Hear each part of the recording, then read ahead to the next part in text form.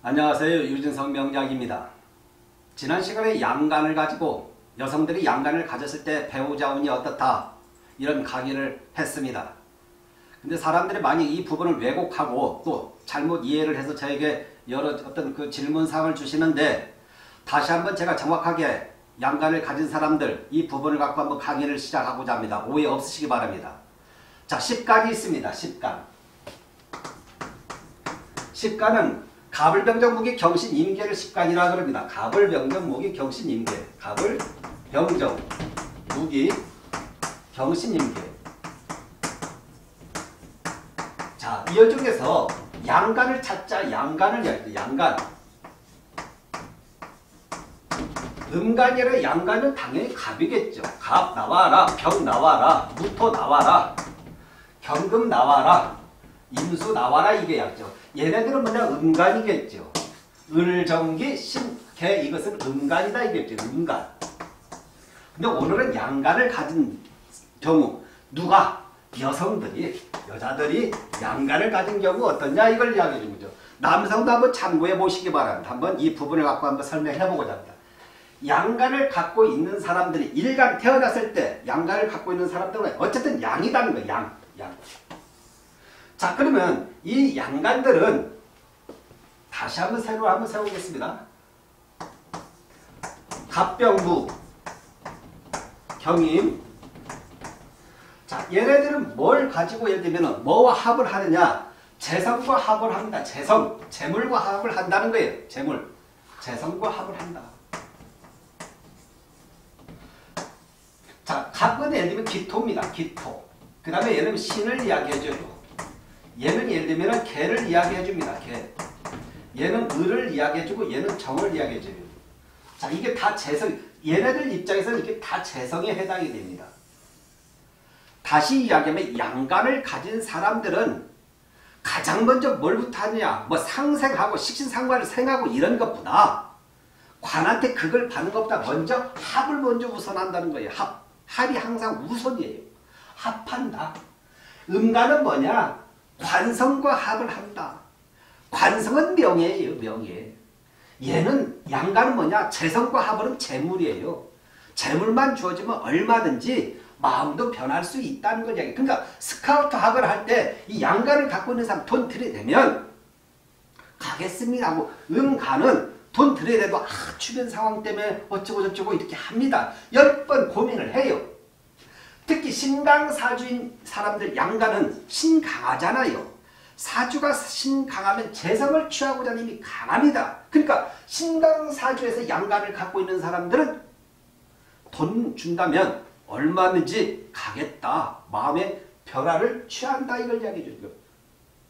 그래서 이런 부분을 만약에 스카우트 학을 할 때 아니면 상대를 내가 저 사람을 끌어당길 때 혹은 내가 애인을 사귀거나 아니면 어떤 만남을 가질 때 이런 부분을 잘 참고하면 상대를 적절하게 잘 예를 들면 활용할 수가 있다는 것입니다. 자, 재성과 합을 한다는 거예요. 그런데 이걸 다시 남자들 입장에서 보면 뭐냐 재성과 합은 돈입니다. 돈과 여자예요.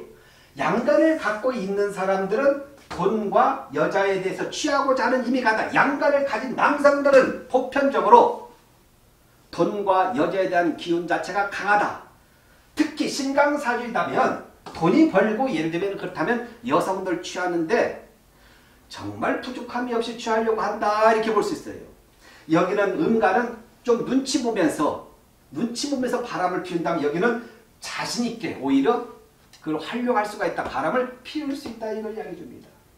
자 그러면 간목에게 있어서 이 기토는 어떤 여성을 간목 일간을 갖고 있는 사람들은 어떤 여성을 원하느냐 어떤 여자를 취하려고 하냐 결혼할 때 인내심이 있는 여성을 원해요. 그래서 인내심이 많아요. 간목 일간 갖고 있는 사람은 여성들이 보편적으로 좀 아내가 인내심이 있습니다. 이놈이 자꾸 뭐라고 해도 끝까지 참고 견뎌요. 그래서 간목 일간은 인내심이 있는 그런 사람들 만나서 결혼하는 확률이 높습니다. 그 다음에 병화를 갖고 있는 사람들은 뭐냐?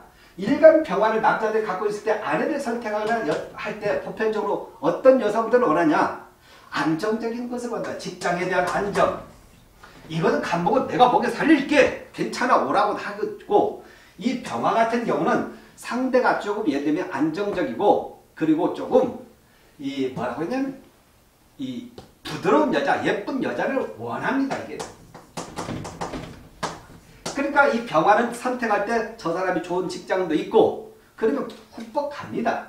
그러니까 조금 함께 이런 부부를 좀 취하고자 하는 경향이 강합니다. 무토 같은 경우 뭐냐? 무토는 조금 내가 내가 출세할 때니까 좀 이쁜 여자를 원한다고 이쁜 여자. 그 다음에 경금 자체는 어떤 사람을 원하느냐? 경금은 자기에게 좀 조언을 해주는 사람.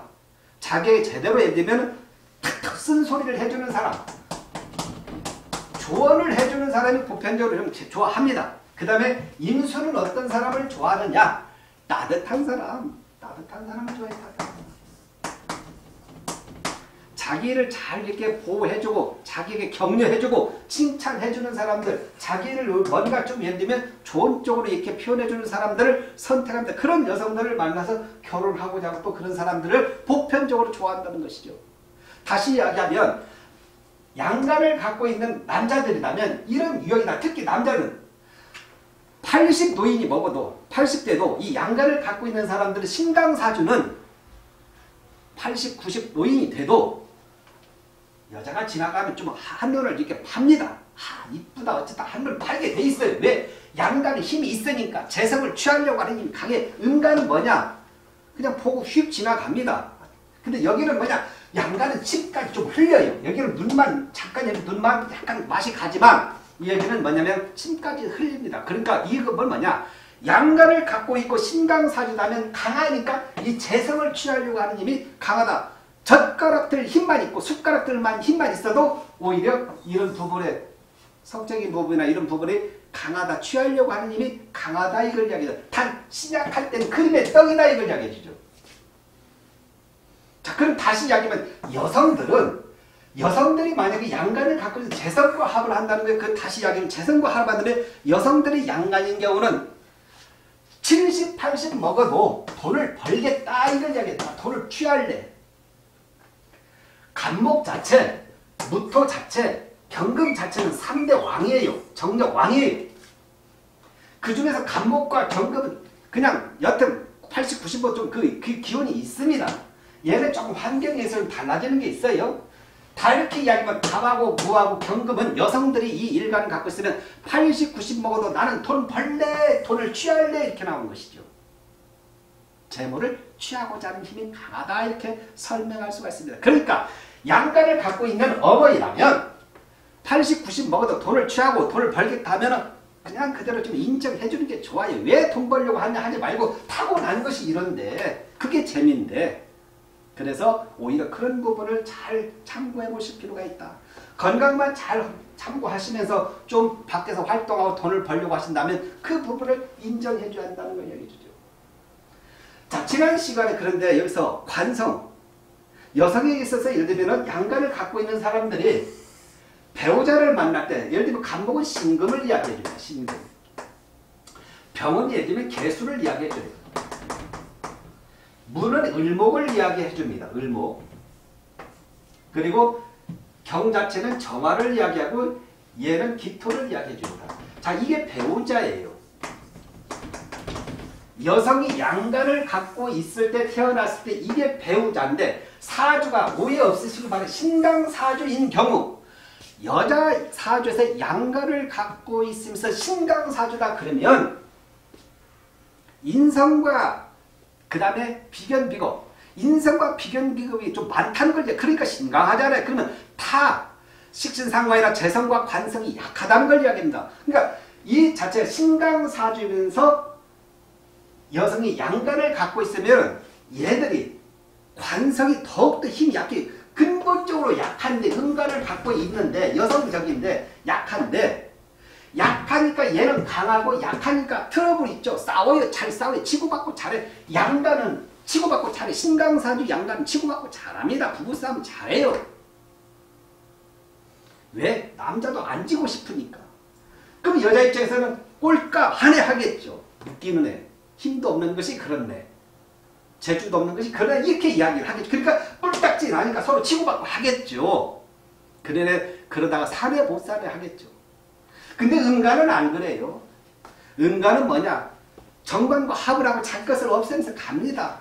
그러니까 힘들고 어려워도 어찌까지 참고 자기만 이해해주고 자기를 칭찬해주고 자기만 조금 뜻을 이해해주면 참고 견딜게요 이렇게 이야기해줘. 근데 얘는 참고 견디는 자원이 아니에요. 왜? 신강사주일 경우에는 힘이 있어요. 내가 돈 버는데 뭔 소리냐는 거예요. 신약사주일 때 좀 다르겠죠. 그러나 신강사주일 때는 그렇다면 특히 신강사주일 때는 더욱더 그러니까 여자 사주 신강사주일 때는 첫 번째 뭐냐? 부부싸움 많이 일어난다. 당연히 그러다 보니까 싸움이 일어나니까 서로가 분란이 일어나고 남, 남남처럼 살거나 혹은 이혼할 수 있는 확률이 훨씬 더 양간이 강하다. 왜? 신강사주면은 이 양간 자체 여성은 내가 스스로 돈 벌 수 있는 힘이 있기 때문에 당신 없어도 된다 이 말이에요. 그래서 그렇기 때문에 이 자체가 이 자체가 정관 자체가 힘이 약하니까 그러니까 여기서 남편과 그런 대립이 있을 수 있다 이걸 이야기해 주는 것입니다. 자 그럼 여성에게 있어서 이렇게 양간을 갖고 태어난 사람들은 배우자 선택에서 이런 양간을 가졌다. 지금 현재 결혼하고 있다. 그런 사람들은 어떻게 하냐. 아하 내가 내가 남편 역할까지 해도 괜찮습니다. 그냥 그렇게 가야 돼요. 그렇지 않으면 못 살고 서로 치고받고 해야 하니까. 그렇지 않으면 내가 그, 그 만약 그 또한 뭐냐 아 이거 운명이다 생각하고 운명이다 생각하고 오히려 그 또한 받아들여야 한다 이걸 이야기했죠. 그러니까 일단 양간을 갖고 있는 사람들은 부부가 여성이 양간을 갖고 있는 사람은 부부 갈등이 훨씬 더 강하다 이걸 이야기해줍 특히 신강인가 신약인가 잘 따져봐라. 그리고 만약에 예를 들면 자녀들이 양간을 갖고 있으면서 신강한 경우를 갖고 있다. 신강사주를 갖고 있다. 그럴 경우에 딸이 만약에 그런 경우가 있다면 뭐냐? 어지간하면 조금 결혼을 늦춰라. 앞부분에서 20대, 30대 이런 사이에서 조금 30대 초반까지 여러 남자를 좀 사귀면서 여러 여러 갈등도 겪고 우여곡절도 겪고 돌 다듬어 보석 다듬어지시 그렇게 다듬어져서 조금 그 이후에 결혼하는 것이 괜찮다. 산전과 수전을 겪고 난 다음에 결혼했을 때 훨씬 더 괜찮다. 이때 양간을 갖고 있으면서 신강사주면서 어떤 한 사람을 만나서 성춘향이처럼 성춘향이처럼 결혼하게 된다. 모르지 한 명 만나서 결혼하게 된다면 양간이 신강사주면서 첫 남편이 아니면 좀 만나서 결혼하게 된 사람은 10중 8구 결혼 생활하기가 힘듭니다. 반드시 다른 사람을 편관을 취하게 된다는 거죠. 편관 취해도 재미가 없어요. 이 양간은 편관 정관 별로 재미가 없습니다. 음간은 있지만요. 그래서 양간을 갖고 있는 사람들은 특히 그런 부분 지금 이야기한 부분을 한번 잘 참고해 보시기 바랍니다. 특히 양간을 갖고 있는 사람들은 여성들 그다음에 여자 자녀들이라면 사회 활동을 오히려 더 왕성하게 하고 전문적인 일을 취하는 것이 좋다. 왜? 재물을 취할 수 있는 힘 강하기 때문에 특히 신강사주다면 회사에 들어가도 회사에 있어도 어쨌든 자기 역량, 두각을 발휘하는 힘을 발휘할 것이고 결국 자기 사업에도 괜찮다. 운 때만 잘 맞으면 신강사주들이 괜찮다. 대한민국에서 자영업하는 여성들, 양간을 갖고 있는 사람들이 음간을 갖고 있는 사람 비율로 보면 8대 2 비율이다 이렇게 참고하시면 됩니다. 훨씬 더 양간이 많습니다. 잘도 오픈하고 잘도 망하기도 한다. 그러나 큰 돈 버는 것은 양간들이 번다는 것을 잘 참고해 보시기 바랍니다. 양간을 갖고 이야기했습니다. 여러분 한번 참고해 보시기 바랍니다. 감사합니다.